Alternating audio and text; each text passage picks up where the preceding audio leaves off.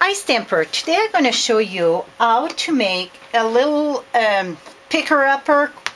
I don't know why uh, what to call it, but we're going to call it picker-upper. This is a toothpick and I added some glue on it. I explained in a video and somebody said I cannot do it. The glue fall all over and so I'm going to show you a quick quick video. See how how handy it is. A lot of time when we get little piece like that, it's so hard to pick up. So what you want to do, and you can take some shish kebab uh, stick, whatever too. I did some with that. It worked very good. Look at that. So you want the Tombow glue. And I'm using this mat worked great for this. It's the mat that come in the Stampin' Up the pack, pack mat. You're going to use just plain toothpick. And on the toothpick, you're going to take your Tombow glue and just, I don't know if you can see good there. Maybe if I go right on top of the black, you're going to see better.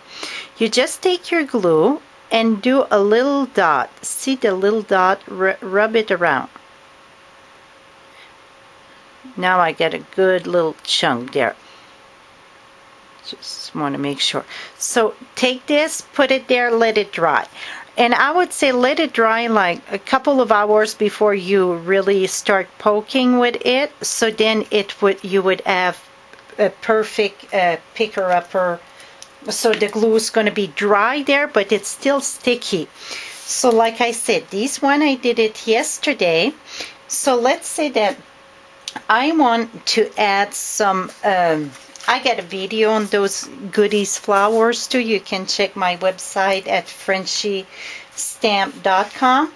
So what I would do is pick my little butterfly and then I would use my Tombow glue again because it's almost too small to put the, the snail in the bag. I could use glue dot though. Put my Tombow glue and then bring it right where I want it. I'm going to put a little butterfly right there lift this part up.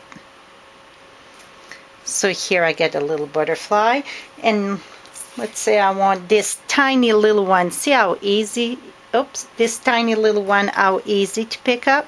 Same thing, just put a tiny bit of glue on it. Tombow glue, glue very good and then it make the best little poker there. And then I get a bigger one here. This one, the bag gets damaged, so I'm going to use this one to put the glue.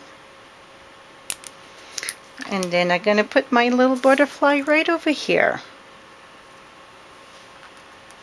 I'm going to lift a corner here. Looks like it's flying. Voila! That's how you pick them up. You just, right there you can see, take this. It's a wonderful homemade tool. So Till next time, happy stamping!